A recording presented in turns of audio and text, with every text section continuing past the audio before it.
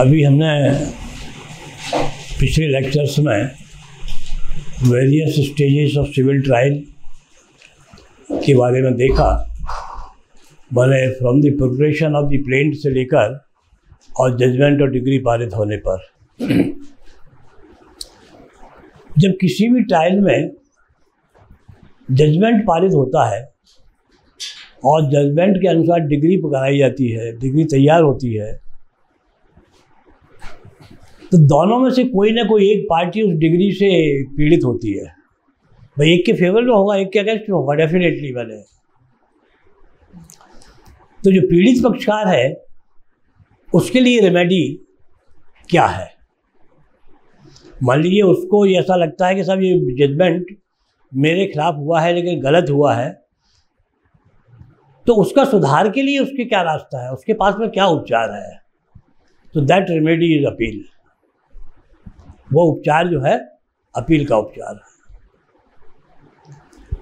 तो अपील के लिए सबसे पहले देखा कि व्हाट इज़ एन अपील है क्या आखिर? तो इसको मैं पहले थोड़ा कहीं रेफर कर चुका हूँ कि appeal is not defined in CPC इसकी परिभाषा कहीं सीपीसी में नहीं दी गई है। लेकिन डिक्शनरी मीनिंग के अनुसार अगर हम इसको देखें तो appeal is the judicial examination of the judgment और order of a inferior court by a superior court या subordinate court by a superior court माने एक अधीनस्थ न्यायालय, या कनिष्ठ न्यायालय के निर्णय या आदेश का वरिष्ठ न्यायालय द्वारा किया गया न्यायिक परीक्षण जुडिशियल एग्जामिनेशन उसे अपील कहा गया है डिक्शनरी की मीनिंग के अनुसार। इसी की एक परिभाषा प्रिवी काउंसिल द्वारा दी गई है, एक जजमेंट में। वो जजमेंट का नाम आप नोट कर लें।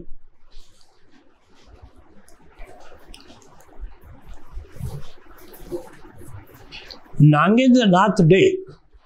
Nagendra Nath day versus Suresh Chandra day. Nagendra Nath day विरुद्ध सुरेश चंद्र डे। ये आपका है 1932 प्रीवी काउंसिल। 1932 प्रीवी काउंसिल का ये जजमेंट है। और इस जजमेंट में प्रीवी काउंसिल की जुडिशियल कमेटी के मेंबर के रूप में प्रीवी काउंसिल के बिहाफ पर बोलते हुए सर दिनसा मुल्ला द्वारा ये कहा गया अपील के संदर्भ में अपील के संदर्भ में उन्हें बताया गया कि कोई भी पक्षकार जो उसके विरुद्ध निर्णय हुआ है, उस निर्णय को सुधार कराने के लिए, वो अगर उस निर्णय में कोई गलती पाता है तो उस गलती को मोडिफाई कराने के लिए, उसके खिलाफ उपचार पाने के लिए वरिष्ठ न्यायालय में प्रवेश करता है तो वरिष्ठ न्यायालय में उसका जो ये प्रवेश करने का अधिकार है, यही अपील का अधिकार कहलाता है है। तो अपील को जो परिभाषित नहीं किया गया है, लेकिन अपील क्या है, इस बारे में जो डिक्शनरी मीनिंग और इस जजमेंट में जो प्रीवी काउंसिल द्वारा जो कहा गया जजमेंट में, उसके appeal is the judicial examination of the judgment और order of the subordinate court by a superior court. तो ये आपका जुडिशियल एग्जामिनेशन, वहाँ पर ये वर्ड बहुत महत्वपूर्ण है, जुडिशियल एग्जामिनेशन, क्योंकि न्यायिक परीक्षण माने परीक्षण करने से तात्पर्य है कि केवल उसको पढ़ लेना नहीं है। उसको वास्तविकता, उसका न्यायिक तरीके से ये देखना कि वास्तव में इसमें कहीं कोई गलती है क्या। तो ये आपका हो गया कि व्हाट इज़ एन अपील अब इसके बाद में आता है आपका, इसके अपील के एसेंशियल एलिमेंट्स क्या होते हैं? What are the essential elements of an appeal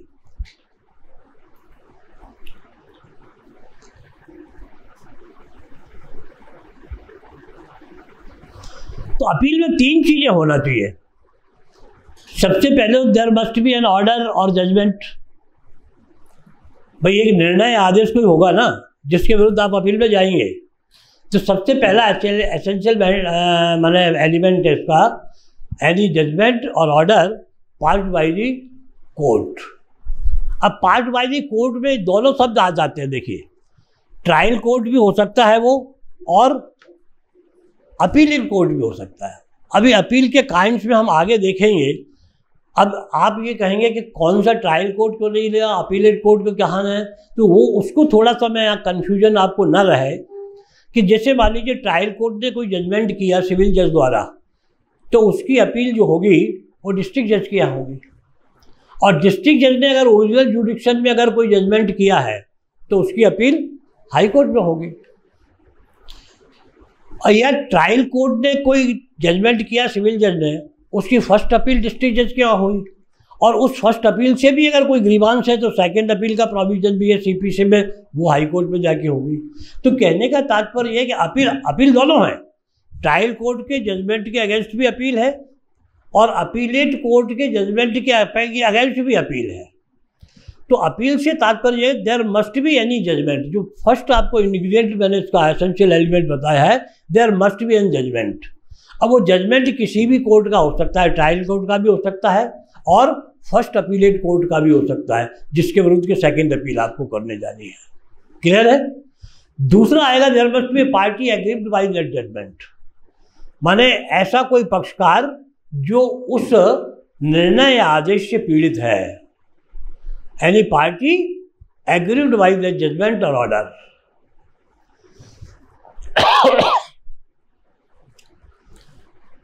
and the third essential element is the forum or the body hearing the appeal. बस उसको सुनने वाला भी तो कोई चाहिए नहीं अपील कहाँ से निराकरण कौन होगी जुडिशल एग्जामिनेशन कौन करेगा तो जुडिशल एग्जामिनेशन करने वाली जो संस्था है जुडिशन करने वाला जो निकाय है जुडिशन करने एग्जामिनेशन करने वाला जो न्यायालय है, वो एक न्यायालय भी उसका एक एसेंशियल पार्ट है। So these are the three essential part of an appeal पहला तो हो गया, एक जजमेंट होना ही चाहिए। भाई जजमेंट नहीं होगा तो अपील किसके विरुद्ध जाएगी? तो सबसे पहला तो पार्ट हो गया उसका जजमेंट किसी भी न्यायालय का है। दूसरा पार्ट हो गया उस जजमेंट से व्यथित कोई पक्षकार। भाई किसी को कोई कष्ट होगा तभी तो जाएगा अपील में। और तीसरा पार्ट हो गया कि उसको सुनने वाला आखिर कौन है?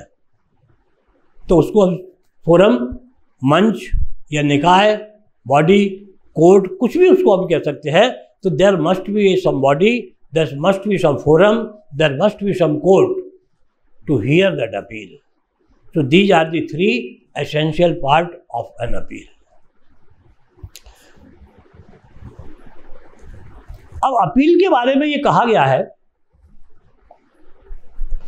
appeal is the continuation of the suit appeal is the continuation of the suit माने वाद की निरंतरता ही में अपील होती है। माने अपील कोई अलग से कार्रवाई नहीं है, वाद की निरंतरता ही में उसको शामिल किया गया है। अब देखिए, वाद की निरंतरता में शामिल करने से तात्पर्य क्या है? टीपी एक्ट आपने पढ़ा है तो? पढ़ चुके होंगे आप लोग टीपी एक्ट। पढ़ा है नहीं पढ़ा? टीपी एक्ट में सेक्शन 52 पढ़ी होगी आपने। क्या है? डॉक्ट्रिन ऑफ़ रिस्पेंडेंस लंबित वाद का सिद्धांत। सेक्शन 52 के नीचे एक एक्सप्लेनेशन दिया गया है। मैंने टीपी एक्ट की धारा नहीं पढ़ा रहा, मैं आपको ये समझा रहा हूँ, निरंतरता क्या है? सूट को, अपील को सूट की निरंतरता में क्यों कहा गया है? तो लिस्पेंडेंस का सिद्धांत टीपी एक्ट में ये बताया गया है कि जहाँ किसी भी इमोबल प्रॉपर्टी के संदर्भ में किन्हीं पक्षकारों के बीच कोई वाद पेंडिंग है तो उस वाद के पेंडिंग रहते हुए, उस वाद के लंबित रहते हुए दोनों में से कोई भी पक्षकार न्यायालय की अनुमति के बिना उस प्रॉपर्टी का डिस्पोजल किसी भी रूप में नहीं कर सकता। ये धारा बावन टीपीएक्ट की कहती है। तो इसमें जो शब्द आया है कि वाद के लंबित रहते हुए एक्सप्लेनेशन जो दिया गया है उस धारा के नीचे, उस एक्सप्लेनेशन में यही बताया गया कि वाद का लंबित रहना क्या है? तो अगर वो एक्सप्लेनेशन अगर आपने पढ़ा हो और उसके बारे में आपको ध्यान होना चाहिए कि suit is pending as soon as it is presented before the court and till the execution is completed of the final decree तब तक वाद को पेंडिंग माना गया है। अब यहाँ पर क्या है? वाद के पेंडिंग से तात्पर्य यहाँ ये यह रहता है various stage of civil trial में आपने ने पढ़ा है presentation of plaint and institution of the suit these are the two different things वाद पत्र का प्रस्तुत करना वाद का संचित करना नहीं है। वाद न्यायालय के सामने जब वाद पत्र प्रस्तुत किया गया तो न्यायालय द्वारा पहले उसका परीक्षण किया जाता है कि ये प्रॉपर तरीके से ड्राफ्टेड है कि नहीं। प्रॉपर तरीके से लिखा गया है नहीं। ऑर्डर सिक्स ऑर्डर सेवन का कंप्लाइंस हुआ या नहीं हुआ? धारा छब्बीस और आदेश चार आपने पढ़ा है उसी फ्रेंच में।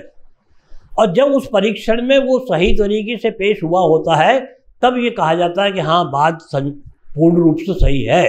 तब उसको संचित किया जाता है। ऑर्डर फोर का रूल टू बताता है कि एक रजिस्टर होता है जिसमें उसको दर्ज करते हैं। तो वाद प्रस्तुत करना बात अलग है और वाद का संचित होना अलग स्टेज होती है। लेकिन for the purpose of pendency of the suit as soon as the plaint is presented the suit is deemed to be pending और कब तक पेंडिंग रहता है वो? ट्रायल कोर्ट से उसका डिसीज़न हो गया। व्यतीत पक्षकार ने उसकी फ़र्स्ट अपील की। फ़र्स्ट अपील से भी डिसीज़न हो गया। परिस्थिति ऐसी है कि सेकंड अपील भी हुई। सेकंड अपील के बाद भी सेकंड अपील की डिग्री से भी मान लीजिए कोई पक्षकार पीड़ित है तो सुप्रीम कोर्ट तक भी जा सकता है। सुप्रीम कोर्ट से भी फाइनल जहाँ डिसीज़न हो गया, और वहाँ से भी जब फाइनल डिग्री हो गई, कि बस इसके आगे अब कोई अपील का रास्ता नहीं है। और उस डिग्री का एग्जीक्यूशन एग्जीक्यूशन अभी हमने यहाँ भी नहीं पढ़ा है एग्जीक्यूशन इसके आगे पढ़ेंगे अब एग्जीक्यूशन से तात्पर्य क्या है? उस डिग्री का जो लाभ पक्षकार को दिया जाना है, उसका क्रियान्वयन कैसे किया जाना है? तो जब तक उस डिग्री का क्रियान्वयन पूरा नहीं हो जाता, तब तक ये माना जाता है कि वाद पेंडिंग है। तो इसीलिए कहा गया है कि appeal is the continuation of the suit मैंने ट्रायल कोर्ट में दावा पेश हुआ वर्ष 1950 में। और सुप्रीम कोर्ट से उसका डिसीज़न हुआ 2040 में। तो 90 साल तक वो केस पेंडिंग माना जाएगा, जब तक कि उसका फाइनल डिसीज़न नहीं हो जाता जो। तो इस प्रकार से हम ये मान के चलते हैं, ये जो हमारा नया हेडिंग हम आपको ये बता रहे हैं, इसमें ये कहा गया है कि pending of the appeal is known as the continuation of the suit appeal का पेंडिंग होना ये माना जाता है कि अभी वाद समाप्त नहीं हुआ है, अभी वाद प्रभावशील प्रचलन में है, चालू है भी तो इसके संदर्भ में ये दो तीन केस लॉज हैं अलग अलग उनको आप थोड़ा सा नोट कर लीजिएगा।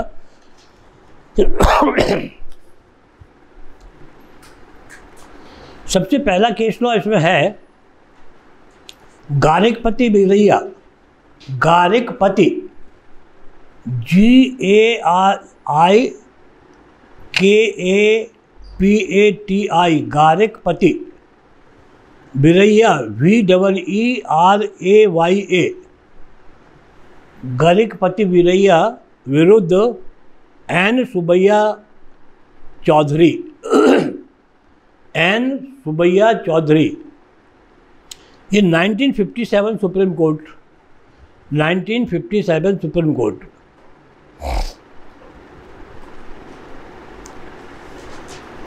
इसमें ये बताया गया है इस केस में कि appeal is the rehearing of the suit before the trial court trial court के सामने जो सूट दावा रहा जिसका निर्णय ट्रायल कोर्ट ने किया, उसका पुनः सुनवाई ये अपील में हुआ जाता है तो अपील को एक ये माना जाता है, जैसे अपील में जो डिग्री पारित होती है ट्रायल कोर्ट की डिग्री पारित हुई, अपील हो गई तो अपील के बाद में एग्जीक्यूशन किस डिग्री का होगा? एग्जीक्यूशन अपीलेट कोर्ट की डिग्री का होगा एग्जीक्यूशन क्यों ट्रायल कोर्ट की डिग्री का नहीं होगा। इसमें क्या है कि डॉक्टर ऑफ़ मर्जर भी काम करता है। डॉक्टर ऑफ़ मर्जर क्या होता है जो है? विलय का सिद्धांत।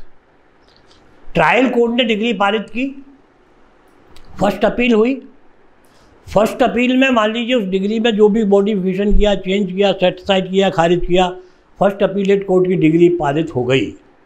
तो जो ट्रायल कोर्ट की डिग्री है, उसका विलय फ़र्स्ट अपीलेट कोर्ट की डिग्री में हो जाता है। अब फ़र्स्ट अपीलेट कोर्ट की डिग्री के विरुद्ध भी जब अपील सेकंड की गई, और सेकंड अपीलेट कोर्ट से भी जहाँ डिग्री हुई तो अब ट्रायल कोर्ट की डिग्री भी खत्म हो गई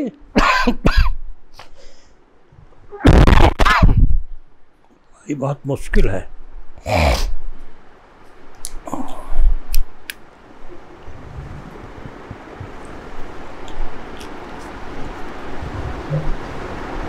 ट्रायल कोर्ट की डिग्री भी खत्म हो गई। फ़र्स्ट अपीलेट कोर्ट की डिग्री भी समाप्त हो गई। अब कौन सी डिग्री आ गई? सेकंड अपील कोर्ट की। तो मैंने वो जो दोनों डिग्रियाँ थी वो उसमें जाके मिले। तो एक के बाद एक डिग्री जब पारित होती जाती है तो पहली डिग्री का अस्तित्व समाप्त हो जाता है और नई डिग्री जो आती है, उसमें सारी डिग्रियाँ एक साथ विलय हो जाती है। तो this is known as the doctrine of merger विलय का सिद्धांत। और विलय के सिद्धांत पर, इसका केस लॉ एक विलय के सिद्धांत पर लिख लीजिएगा आप जो है।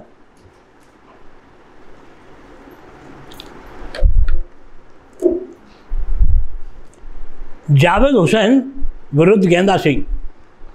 जावद जावद हुसैन विरुद्ध गेंदा सिंह।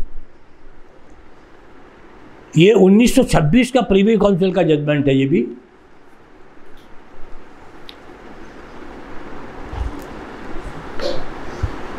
इस जजमेंट में भी प्रीवी काउंसिल ने यही कहा है कि जहाँ एक के बाद एक डिग्री की अपील होती है और अपीलेट कोर्ट से जहाँ डिग्री पारित हो जाती है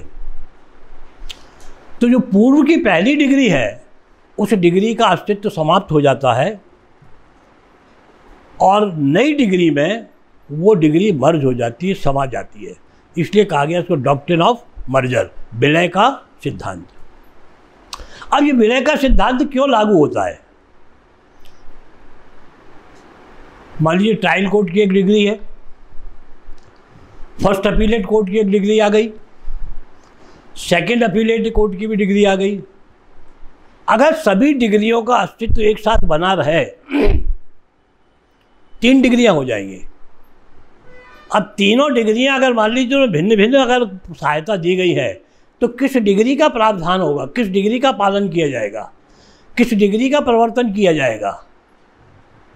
तो उस समस्या को समाधान करने के लिए डॉक्ट्रिन ऑफ़ बर्जर विलय का सिद्धांत लागू किया गया कि जहाँ एक डिग्री के विरुद्ध अपील हुई और अपीलेट कोर्ट द्वारा जहाँ डिग्री पारित की गई, वो चाहे फ़र्स्ट अपील हो, सेकंड अपील हो, अपीलेट कोर्ट द्वारा जहाँ डिग्री पारित कर दी जाती है तो पहली वाली डिग्री उस दूसरी डिग्री में मर्ज हो जाती है, उसमें विलय हो जाता है और उसका पृथक से कोई अस्तित्व नहीं रह जाता है। वरना समस्या ये आएगी किस डिग्री का? तो एक ही साथ, एक ही विषय में दो अलग अलग डिग्रियों का परिवर्तन नहीं हो सकता। इस सिद्धांत के आधार पर डॉक्टर ऑफ़ मर्जर लागू किया गया प्रीवी काउंसिल के इस जजमेंट में और उन्होंने कहा कि जो ओरिजिनल डिग्री है, वो आखिरी की डिग्री में मर्ज होके और जो अंतिम डिग्री है, और एग्जीक्यूशन किसका होगा? एग्जीक्यूशन होगा जो डिग्री सबसे लास्ट में है। उसका मर्जर किया जाए, उसका मैंने एनफोर्समेंट किया जाएगा। तो इसी में आओ, एक दो केस लॉ और भी है इसके appeal is the continuation of the suit में, उन केस लॉज को आप लिखिए। बाकी सिद्धांत सब में एक ही बताया गया है, क्योंकि केस लॉ मैं आपको इसलिए दिखा रहा हूँ कि आपको कभी कभी केस लॉज पर क्वेश्चन आ जाता है प्री में प्री के एग्जामिनेशन में, कि ये किससे संबंधित केस लॉज हैं तो उन केस लॉज को ज़रा आप देख लीजिएगा। गरेकपति बीरैया का आपको लिखाया मैंने। एक आपका है रमन कुट्टी विरुद्ध औरा। Raman Kutty Raman Kutty K U double T Y Avara A V A R A ये उन्नीस सौ चौरानवे supreme court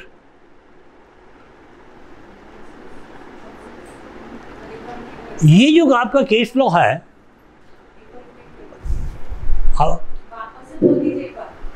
Raman Kutty R A M A N Raman K U double T Y Kutty विरुद्ध Avara A V A R A. Raman Kutty विरुद्ध अवरा हो गया, लिख लिया ना? ये है nineteen ninety four Supreme Court, उन्नीस सौ चौरानवे सुप्रीम कोर्ट।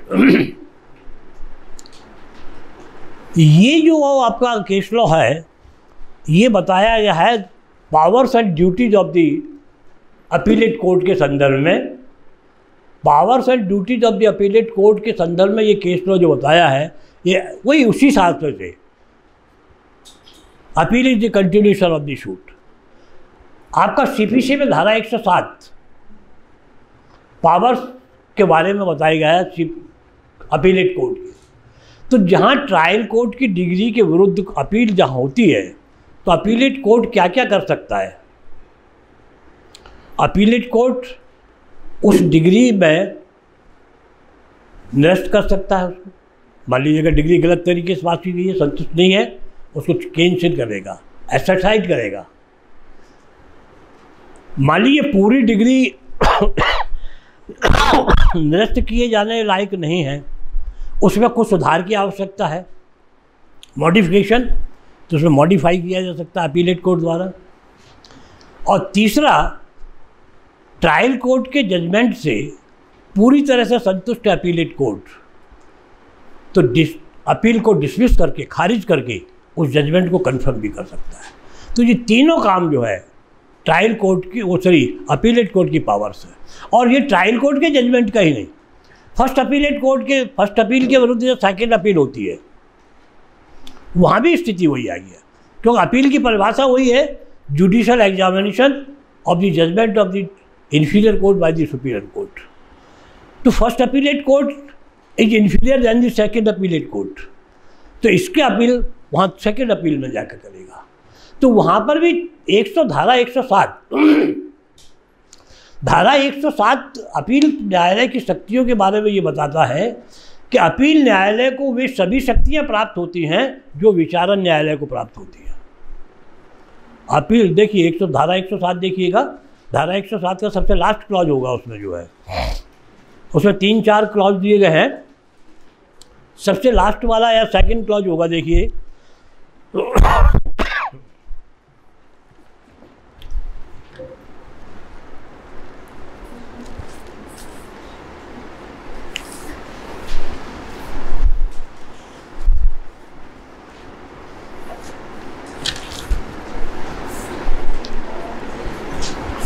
धारा 107 का सबसेक्शन टू देखो।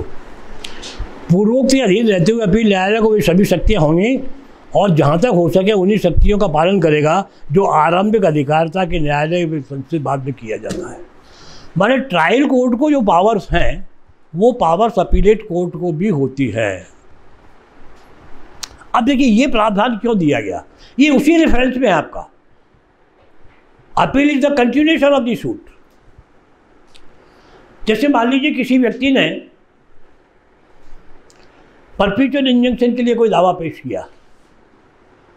परफ्यूचर इंजन समझते स्थायी व्यादेश स्थायी व्यादेश के लिए कोई दावा पेश किया और स्थायी व्यादेश के साथ में दावे में ऑर्डर 39 रूल वन टू के अंतर्गत टेम्परेरी इंजंक्शन की एप्लीकेशन भी फ़ाइल की गई।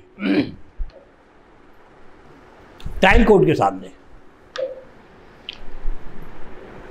तो टेम्परेरी इंजेक्शन का क्या है? स्पेसिफिक रिलीफ एक्ट भी मेरा जब तक ख्याल आप लोग पढ़ चुके होंगे। पढ़ चुके हैं क्या? नहीं। अरे भाई हाँ ना, कुछ तो बोलो। पढ़ा है। तो स्पेसिफिक रिलीफ एक्ट की I think it is section thirty six preventive relief के नाम से वो टॉपिक है। और उसमें बताया गया है कि preventive relief is granted by way of injunction निवारक अनुतोष जो है व्यादेश के माध्यम से प्रदान किया जाता है। और धारा सैंतीस ये कहती है कि व्यादेश दो प्रकार के होते हैं। एक तो शाश्वत व्यादेश और एक अस्थायी व्यादेश। Temporary injunction and perpetual injunction. तो टेम्परेरी इंजंक्शन क्या है? Which is granted for a particular period केवल दावे के विचारण के दौरान वो प्रभावशील रहेगा। दावे का निराकरण जैसे हुआ। मान लीजिए परप्यूचुअल इंजंक्शन के लिए दावा पेश हुआ है, स्थायी आदेश के लिए दावा पेश हुआ है। तो temporary injunction can be granted during the proceeding of the trial by way of an order आदेश के माध्यम से। लेकिन परप्यूचुअल इंजंक्शन कब ग्रांट किया जाता है? स्पेसिफिक रिलीफ एक्ट में आप इसको डिटेल में पढ़ चुके होंगे। वो रेफर करना ये ज़रूरी है कि आपको जिससे थोड़ा सा मेमोरी रिफ्रेश हो जाए। Perpetual injunction is granted by way of a decree on the merit of the case प्रकरण के गुण दोष के आधार पर जो डिग्री पारित होती है, उसके माध्यम से स्थायी आदेश जारी किया जाता है। और स्थायी आदेश के प्रावधान ऑर्डर सॉरी सेक्शन 38 में स्पेसिफिक में दिए गए हैं। तो टेम्परेरी इंजंक्शन के लिए एप्लीकेशन ट्रायल कोर्ट में आती है और ट्रायल कोर्ट उस टेम्परेरी इंजंक्शन की एप्लीकेशन को टाइम पर ग्रांट करता है, मंजूर करता है कि प्रकरण के निराकरण तक यथास्थिति बनाई रखी जाए। मान लीजिए वादी का वो दावा किसी भी कारण से खारिज हो जाता है। तो वादी का जब दावा खारिज हो गया टेम्परेरी इंजंक्शन खत्म। लेकिन वादी उस डिग्री के विरुद्ध अपील करता है। और अपील न्यायालय के समक्ष वो ये कहता है कि साहब, मेरे को ट्रायल के दौरान टेम्परेरी इंजंक्शन मिला था। और चूँकि मेरी दावा खारिज होगा, इसलिए वो इंजन से समाप्त हो गया। प्रतिवादी जो है, पुनः हस्तक्षेप कर सकता है या इस प्रॉपर्टी को फिर से बेच सकता है। मुझे टेम्परेरी इंजंक्शन अपील के निराकरण तक भी दिया जाए। तो ऑर्डर 39 का रूल वन जब आप पढ़ेंगे तो उसमें वर्ड सूट दिया गया है। वहाँ अपील शब्द का उपयोग नहीं किया गया है। ऑर्डर 39 में सूट वर्ड यूज़ किया गया है। वाद। वह वर्ड अपील नहीं है।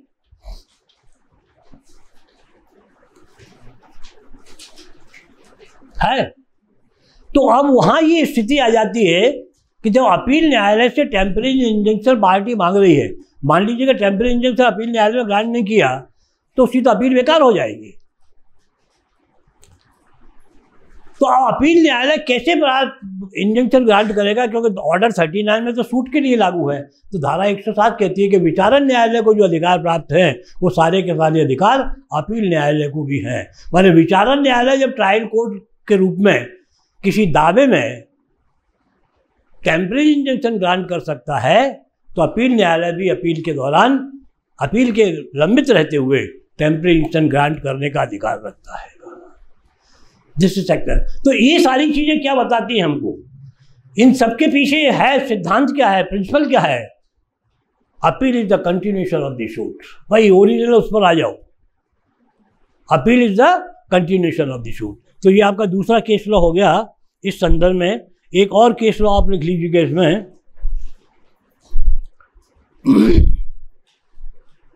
दयावती विरुद्ध इंद्रजीत। दयावती विरुद्ध इंद्रजीत, उन्नीस सौ छियासठ सुप्रीम कोर्ट।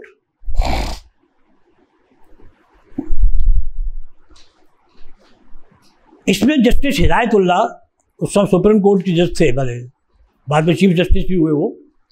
तो जस्टिस हिदायतुल्ला ने इस केस में ये कहा है कि अपील आखिर है क्या? तो इसमें भी यही कहा गया कि ट्रायल कोर्ट द्वारा या निम्न अधीनस्थ कनिष्ठ न्यायालय द्वारा पारित जजमेंट में या ऑर्डर में अगर किसी प्रकार की कोई गलती की गई है तो उसमें सुधार करने के लिए पीड़ित पक्षकार वरिष्ठ न्यायालय में प्रवेश करता है। तो उसको वरिष्ठ न्यायालय में जाने का ये अधिकार कहाँ से मिलता है? अपील के माध्यम से। तो उस अपील के माध्यम से उसको वरिष्ठ न्यायालय में जाने का अधिकार मिलता है और वहाँ वो वरिष्ठ न्यायालय से निवेदन करता है कि इस जजमेंट में ये गलती है और इनको सुधार किया जाए। थीम सबके पीछे एक ही है। केस लॉ जो है, जितने भी जो है, सबके पीछे सिद्धांत एक ही है कि appeal is the continuation of the suit and appellate court has the same power as of the trial court एक और केस लॉ है, इसमें आपका collector of custom collector of custom विरुद्ध East India commercial company limited collector of custom विरुद्ध East India commercial company limited ये उन्नीस supreme court का जजमेंट है।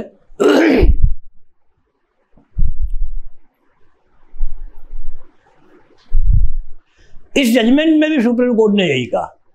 माने सारे सारे के सारे जजमेंट से इनमें सब में थीम वही है। कि अपील कनिष्ठ न्यायालय के निर्णय की गलती को सुधारने के लिए वरिष्ठ न्यायालय का न्यायिक परीक्षण होता है जो है। और वरिष्ठ न्यायालय उसमें जो भी गलती पाता है, उसको सुधार सकता है, पलट सकता है करेक्ट कर सकता है। अपील, अगर कोई गलती नहीं है तो अपील को खारिज भी कर सकता है। तो ये आपका हो गया appeal is the continuation of the suit के संदर्भ में। इसके बाद में हम नेक्स्ट आपका हेडिंग नोट कर लीजिएगा, आप जो है, अपील का अधिकार right to appeal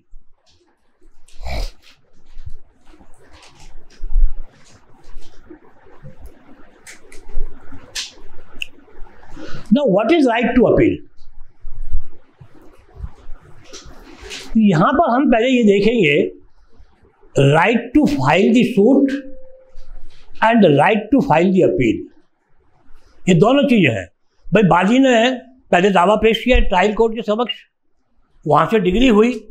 डिग्री के बाद जो भी पार्टी उससे व्यथित है वो पक्षकार अगले न्यायालय में जाकर अपील पेश करता है जो है। तो क्या दोनों अधिकार एक समान है?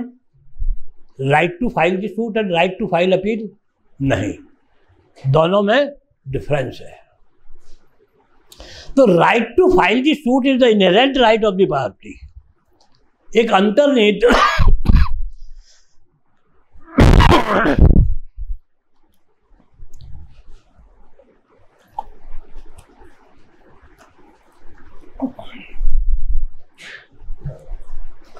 right to file the suit जो है that is an inherent right of the party किसी भी व्यक्ति का, किसी भी पक्षकार का एक अंतर्निहित अधिकार है। सेक्शन नाइन आप पढ़ चुके हैं। जूडिक्शन वाला जब सब जूडिक्शन पर अपना लेक्चर हुआ है, क्षेत्राधिकार सिविल न्यायालय के क्षेत्राधिकार के बारे में। तो सिविल न्यायालय के क्षेत्राधिकार के संबंध में जो धारा नौ जो कहती है every court has right jurisdiction to hear the suit of civil nature if it is not expressly or impliedly barred by any law. तो ये क्या शो करता है? ये लैंग्वेज क्या शो करती है? माने अगर सिविल नेचर का कोई अधिकार किसी व्यक्ति का हनन हो रहा है तो वो सिविल न्यायालय के समक्ष जाकर अपने उस अधिकार की रक्षा के लिए दावा पेश कर सकता है।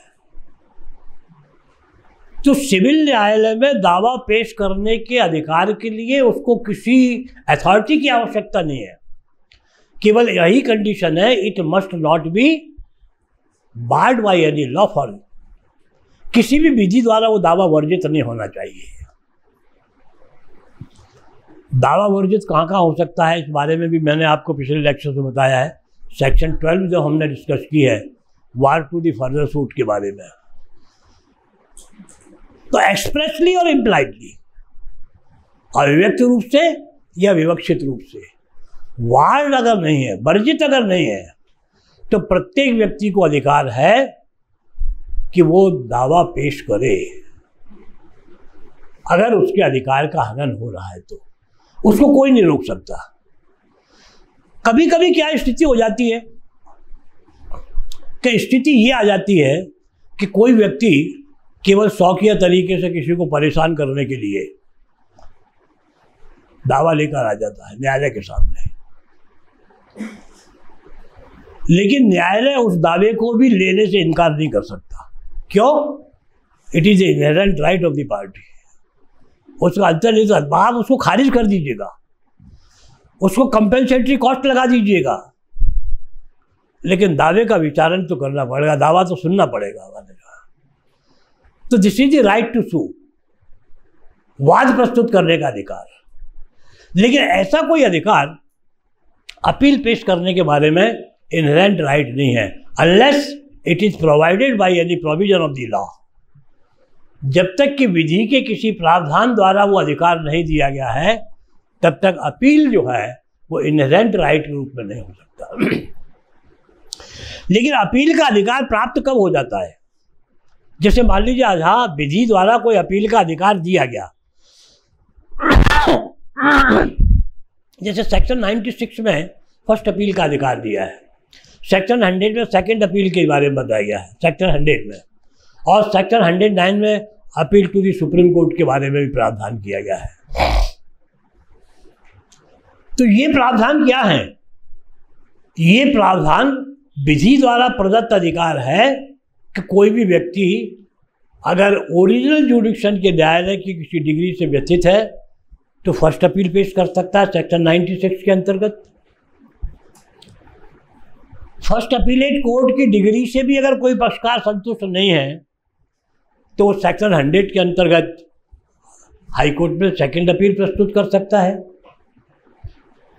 और हाईकोर्ट के बाद भी जो है, सुप्रीम कोर्ट तक भी अपील का प्रावधान, लेकिन उसके लिए विशेष प्रावधान है। तो वहाँ subject to the limitation of the law ये ध्यान रखिएगा हमेशा। अधिकार जो दिया है तो अधिकार किन सीमाओं के अंतर्गत है? अब जैसे सेकंड अपील धारा सौ के अंतर्गत it will be heard only on the point of law केवल विधि के प्रश्न पर ही सुनी जाएगी। तथ्य के प्रश्न पर अभी सेकंड अपील का चैप्टर पढ़ेंगे, वहाँ पर डिस्कस उसको करेंगे डिटेल में जो है। अभी हम केवल ये देख रहे हैं कि अपील का अधिकार जो है, विधि द्वारा प्रदत्त अधिकार है ये इनहेरेंट राइट अंतर्निहित अधिकार नहीं है तो दिस इज़ द बेसिस और the fundamental difference between the right to file the suit and right to file the appeal तो इस चीज़ को आपको ध्यान में रखना है और ये आपका दिया गया है आपका केस लॉ है, इस पर गंगाबाई विरुद्ध विजय कुमार। गंगाबाई विरुद्ध विजय कुमार।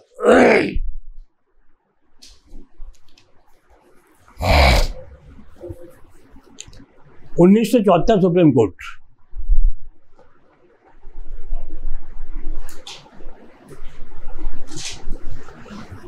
इस केस में सुप्रीम कोर्ट ने यही डिसाइड किया है जिस मैंने आपको अभी बताया कि वादी का दावा कितना भी आधारहीन हो, कितना भी मूर्खतापूर्ण हो, देखिए, सुनने से तात्पर्य क्या है? सुनवाई से तात्पर्य क्या है? इनहेरेंट राइट से मतलब क्या है? उस पर थोड़ी सी ध्यान देना है आपको। मान लीजिए कोई व्यक्ति कोई ऐसे अधिकार की मांग करते हुए जाता है, जो कि वैधानिक रूप से उसको प्रदान किया ही नहीं जा सकता। और ऐसे अधिकार की मांग करते हुए वो न्यायालय के समक्ष दावा पेश, मानिए इसको भी कह सकते हैं कि मूर्खतापूर्ण दावा है।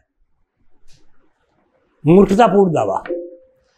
तो न्यायालय ये नहीं कह सकता कि साहब, ये तो दावा तुम्हारा बिल्कुल आधारहीन है।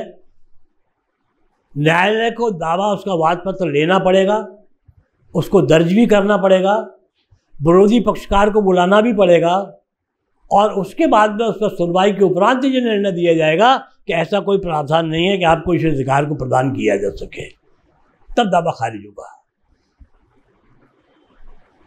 इसी से right to sue inherent right to sue और अपील के बारे में, अपील के बारे में स्पेसिफिक प्रावधान दिए गए हैं कि जहाँ जहाँ किन किन प्रावधानों के अंतर्गत आप दावा पेश कर सकते हैं। तो आपका ये जो गंगाबाई वाला केस जो है, इसमें यही कहा गया है कि there is a basic difference there is a fundamental difference between the right to sue and right to appeal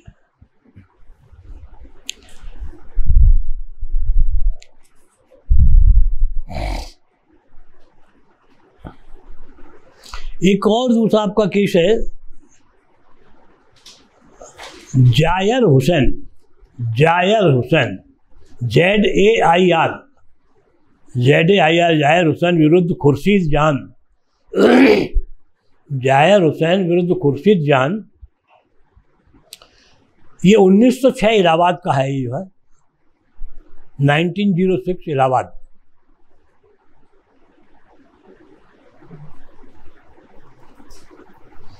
इसमें ये बताएगा, इस केस लॉ में भी वही कहा गया है इसमें right to sue is in inherent right but there is no inherent right of will to any person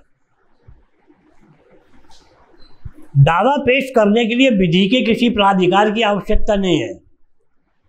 लेकिन अपील पेश करने के लिए विधि का प्राधिकार आवश्यक है, विधि का प्रावधान होना आवश्यक है, तभी आप अपील पेश कर सकें अब अपील सवाल यह है कि अपील पेश कब की जाती है? अपील पेश कब की जाती है? अपील पेश की जाती है जबकि किसी व्यक्ति के विरुद्ध कोई निर्णय पारित हो जाता है तब। जैसे मान लीजिए बाजी ने कोई दावा पेश किया और प्रतिवादी को सम्मन हुआ उसने आके अपना जवाब दावा पेश कर दिया।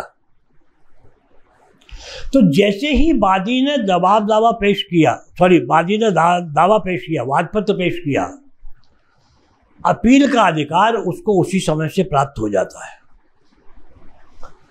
अपील का अधिकार उसको उसी समय से प्राप्त हो जाएगा। प्रतिवादी ने जवाब दावा पेश किया। प्रतिवादी को भी अपील का अधिकार उसी समय से प्राप्त हो जाएगा। हालाँकि इस अधिकार का उपयोग कब होगा? उपयोग उस समय होगा जिस व्यक्ति के खिलाफ निर्णय होगा। भाई, जिसके खिलाफ निर्णय एक किसी दो, या तो बाजी के खिलाफ होगा या प्रतिवादी के खिलाफ।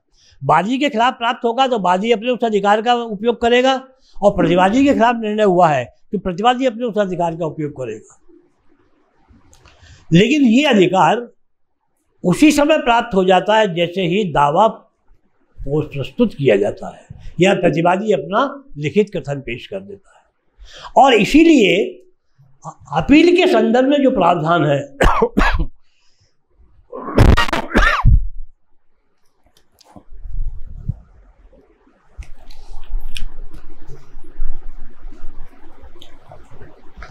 अपील के संदर्भ में जो प्रावधान है, वो प्रावधान अपील के लिए प्रभावशील होंगे, जो वाद पत्र को प्रस्तुत करने के समय प्रभावशील है। मान लीजिए वाद पत्र प्रस्तुत करने के समय अपील के कुछ प्रावधान है। वाद में उन प्रावधानों में कुछ परिवर्तन कर दिया जाता है। निर्णय पारित होते समय दूसरे नए प्रावधान आ जाते हैं। तो अपील के संदर्भ में उस केस में जो वादपत्र पेश किया गया, जिस समय जो प्रावधान थे, वो प्रभावशील होंगे, वो नए प्रावधान प्रभावशील नहीं होंगे। नए प्रावधान कब प्रभावशील होंगे? जब नया दावा उस प्रावधानों के आने के बाद जो पेश उन पर पेश होंगे। जो है तो इस चीज़ को थोड़ा सा ये देखना पड़ेगा। क्यों? वहाँ पर वही देखा जाए जैसा हमने अभी ऊपर देखा, appeal is the continuation of the suit. दावे की निरंतरता है। तो दावा जिस समय पेश हुआ है, उसी समय अपील का अधिकार उद्भूत हो जाता है। इसलिए अपील के संदर्भ में जो प्रावधान है, जो लॉ है, जो प्रोसीजर है, वही अडॉप्ट किया जाएगा, जो वाद प्रस्तुत करने के समय प्रभावशील था।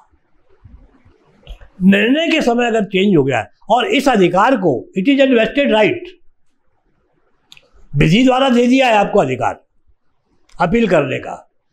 अब उस अधिकार को वापस नहीं लिया जा सकता। समाप्त नहीं किया जा सकता। समाप्त किया जाएगा तो कब? नया कानून बनाकर ही कि अब अपील का अधिकार समाप्त किया जाता है। टीपी एक्ट आप लोगों ने सेक्शन 19 और सेक्शन 21 टीपी एक्ट में पढ़ी होगी आपने। पढ़ी है vested right, vested interest and contingent interest. निहित हित और समाश्रित हित के बारे में पढ़ा है। वेस्टेड इंटरेस्ट क्या है?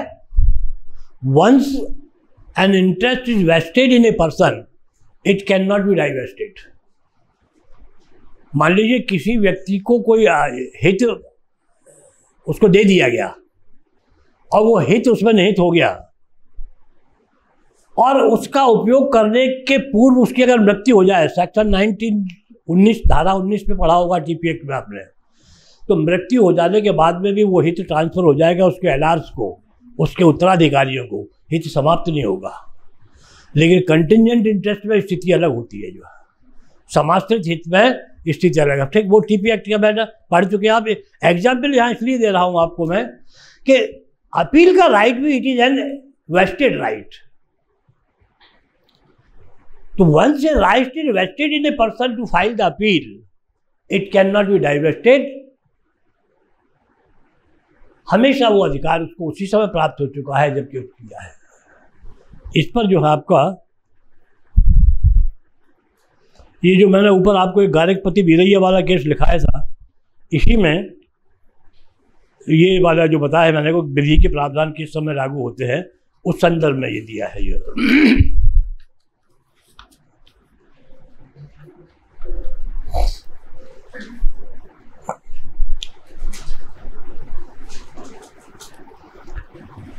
एक आपका केस लॉ है।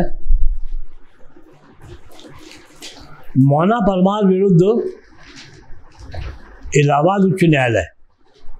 मोना परमार मोना परमार विरुद्ध इलाहाबाद उच्च न्यायालय, हाईकोर्ट ऑफ़ इलाहाबाद।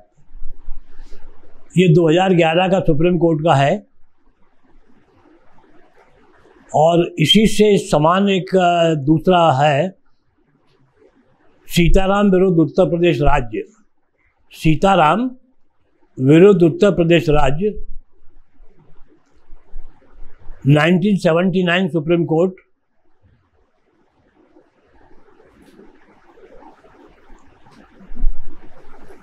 ये जो दोनों केस लॉ हैं, इसमें बहुत ही एक उपयुक्त बात बताई गई है।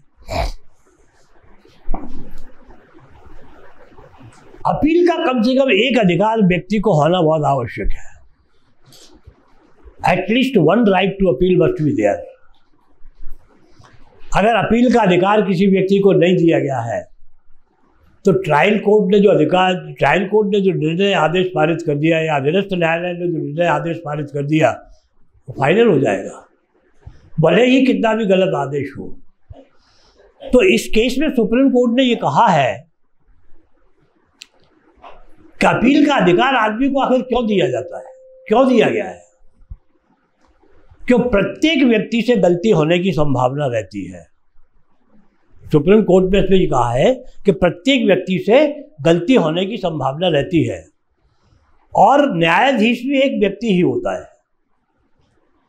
न्यायाधीश भी एक व्यक्ति ही हो सकता है।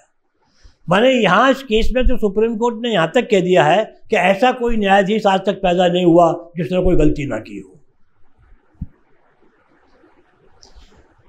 तो इसलिए अपील का अधिकार अगर नहीं है तो ट्रायल कोर्ट की गलती को फिर सुधारेगा कौन? कैसे सुधारी जाएगी? तो इसलिए अपील का कम से कम एक अधिकार, भले ही दो दो अपील का अधिकार ना हो कुछ केसेज में हम आगे अब देखेंगे।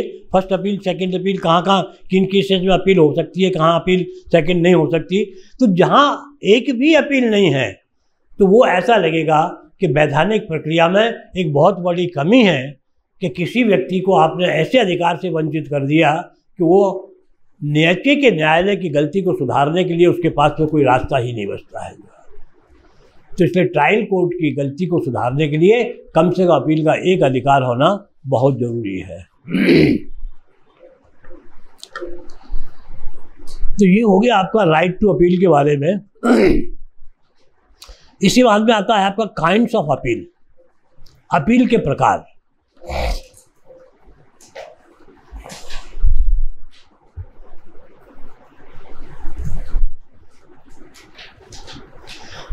अब काइंड्स ऑफ़ अपील में कितनी प्रकार की अपील होती है, ये हमको देखना है। तो सबसे पहला है आपका appeal against the original decree, मूल डिग्री के विरुद्ध अपील। अपील का सबसे पहला प्रकार है मूल डिग्री के विरुद्ध appeal. Appeal against the original decree. और इसी को जो प्रचलित नाम दिया गया है that is known as the first appeal also प्रथम अपील भी हम इसको कहते हैं। ठीक है? तो प्रथम अपील क्या है?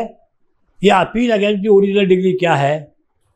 ये अपील का एक प्रकार है और इस संदर्भ में जो प्रावधान आपके दिए गए हैं, धारा छियानवे से लेकर और निन्यानवे ए, धारा छियानवे से लेकर और निन्यानवे ए के बीच में फ़र्स्ट अपील के बारे में प्रावधान दिए गए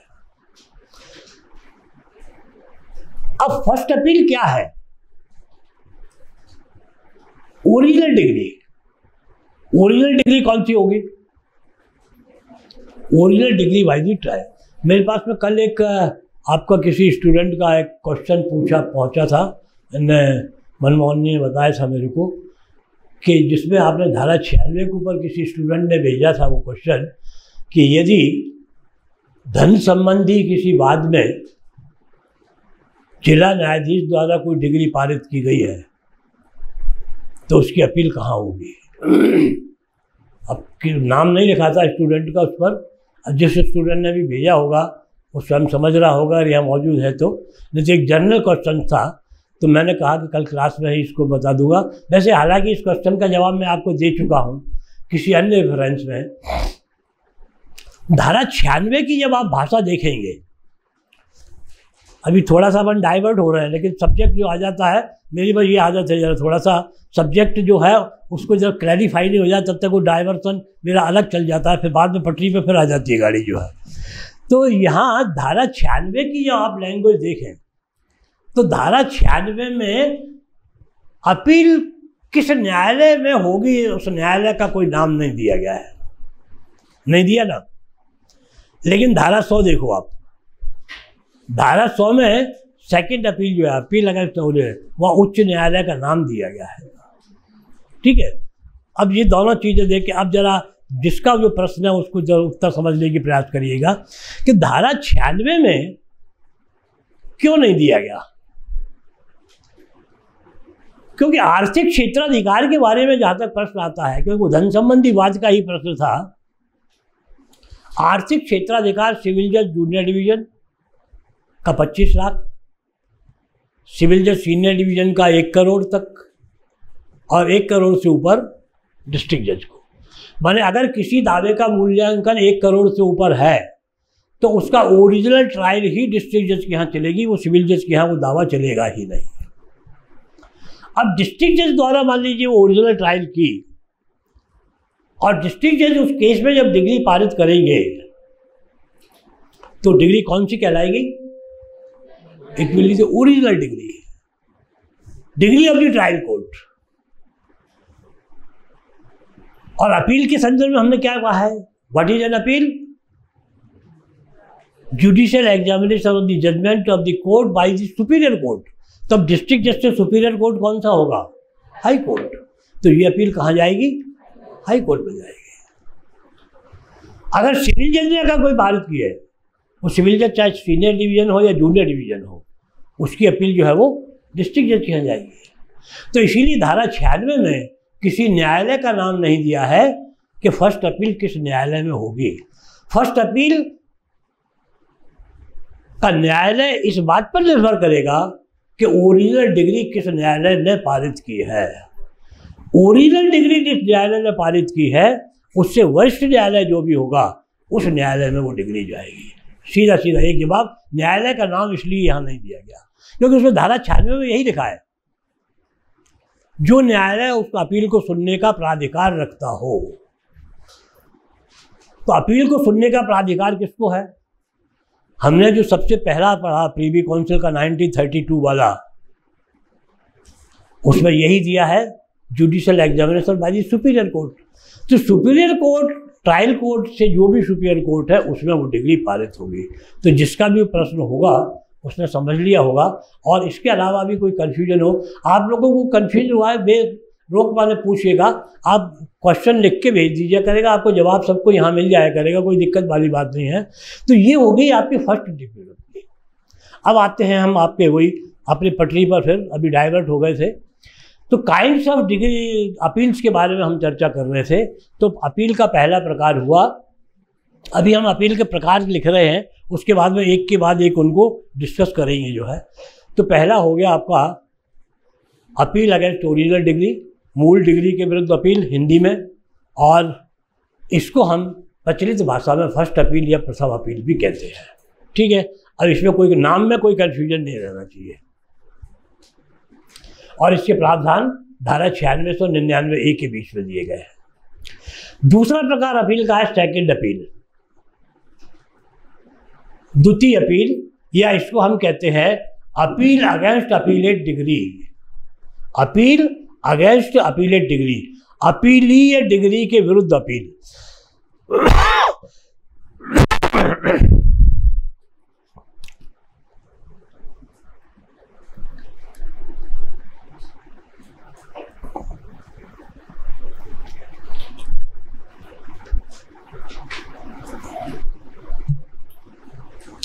अपीली डिग्री के अपील, जिसे कि हम सेकेंड अपील कहते हैं।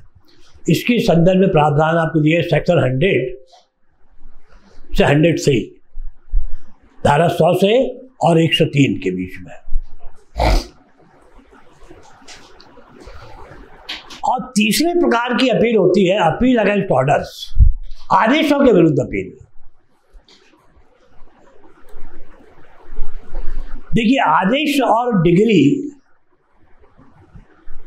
परिभाषाओं के बारे में हमने सारी चर्चा यहाँ की है। देखिए आई एम नॉट रिमेम्बरिंग परिभाषाओं के बारे में मैंने चर्चा तो वैसे की है, कुछ महत्वपूर्ण परिभाषाएँ आपको बताई हैं। उसमें यह भी बताया गया है कि there is a difference between a decree and an order decree और आदेश में भी फ़र्क है, अंतर है। एवरी डिग्री इज़ अपीलेबल धारा छियानवे यही कहती है but every order is not appealable her decree के विरुद्ध अपील होती है अधिकार है। वही है ना अपील का अधिकार जैसा अभी हम चर्चा कर रहे थे। It is not an inherent right it is given by the law तो आदेशों के विरुद्ध अपील का अधिकार सभी आदेशों के लिए नहीं दिया गया। वो कुछ विशिष्ट आदेशों के लिए दिया गया है। और इसके प्रावधान आपको धारा 104, 105 और 106 में मिलेंगे जो है।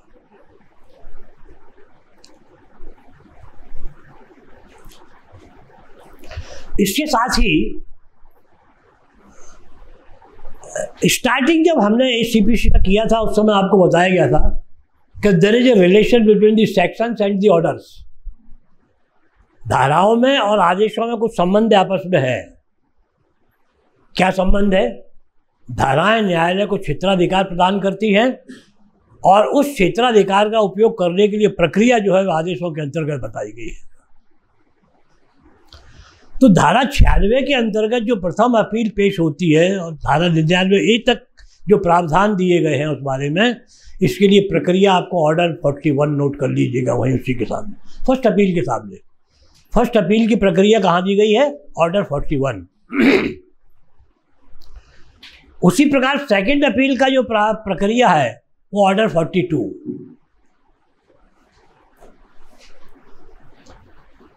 और अपील अगेंस्ट ऑर्डर्स, जो धारा 104 से 106 बताया है, उसमें ऑर्डर 43 तो आदेशों में क्या है? अपील के लिए तो हर डिग्री के विरुद्ध अपील परमिशिबल है, लेकिन हर आदेश के विरुद्ध अपील परमिशिबल नहीं है। अपील केवल आदेशों के विरुद्ध, उन्हीं आदेशों की हो सकती है, जो धारा 104 और आदेश तैतालीस का नियम एक। आदेश तैतालीस के नियम एक में एक सीरीज़ दी गई है, एक लिस्ट दी गई है। केवल वही आदेश के विरुद्ध अपील होगी, बाकी के विरुद्ध अपील नहीं होगी।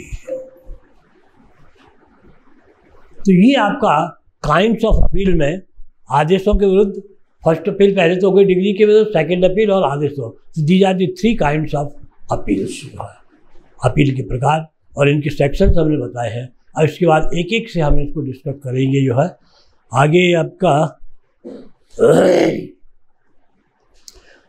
जो अगला अपना जो लेक्चर शुरू जो होगा, वो होगा अपना फ़र्स्ट अपील से अपन स्टार्ट करेंगे। तो सेक्शन 96 से लेकर और 99 ए तक आप और उसके साथ ही ऑर्डर 41 ऑर्डर 41 बहुत लंबा चौड़ा आदेश है।